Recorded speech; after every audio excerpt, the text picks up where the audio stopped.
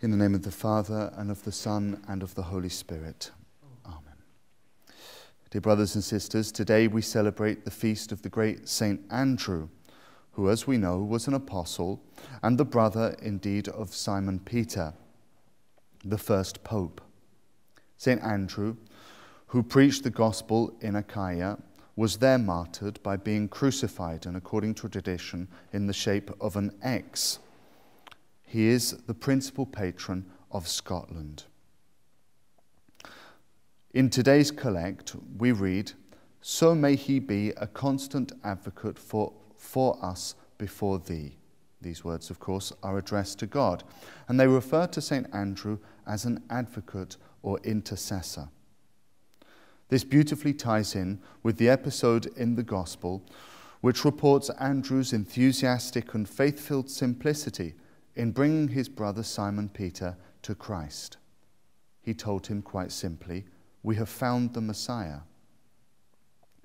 The work of an advocate or intercessor, someone who intercedes for someone else in need, is always to bring them to that which is good. We see a beautiful example of this in Andrew, who brings souls to Christ. This is the mission par excellence of all the apostles. And in light of this, it is appropriately Andrew who points out the boy just before one of Christ's multiplications of loaves and fishes, saying to our Lord Jesus, There is a lad here who has five barley loaves and two fish. This pointing out of the boy we can understand also spiritually. Andrew, according to today's liturgy, the Alleluia verse, became an odor of sweetness. We know that he offered his life in testimony for his faith and for the love of our Lord Jesus. And we too are called to offer our lives by practicing a perfect consecration, by perfecting the consecration which we began with the reception of the sacrament of baptism. And thus we must consecrate to God, through the Blessed Virgin Mary, all that we have. That is, the five barley loaves and the two fish. We can understand these two fish to refer perhaps to the body and the soul, and the five barley loaves to the five senses of the body. If we do not give all of these things to our Lord Jesus, he will not be able to work a miracle of the multiplication of grace in us, indeed, that reveals his presence in the world. So we must give him our body and our soul. Today, there are many who consecrate to him, they would think, their mind, but leave their body aside. They want, with their mind, to think about religious things and indeed to imagine perhaps that they are holy while giving their body over to acts of sin, perhaps impurity, pornography, or the like.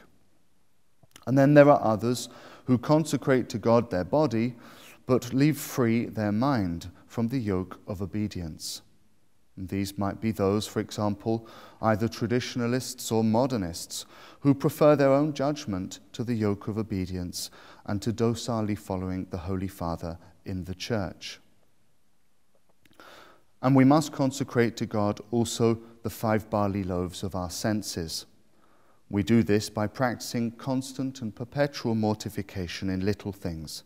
We remember the beautiful example of one soul, a devotee of Our Lady from the 20th century, who I must confess, whose name escapes me at this particular moment, but who wanted to offer Our Lady a sacrifice of 12 acts of mortification every day in honor of her 12 stars, which crowned her in the vision of John in the book of Revelation.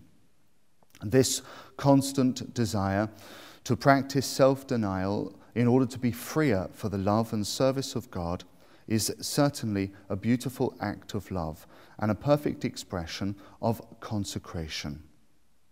All of this will make us just like that little boy, a child of Mary, and similar to our Lord Jesus Christ.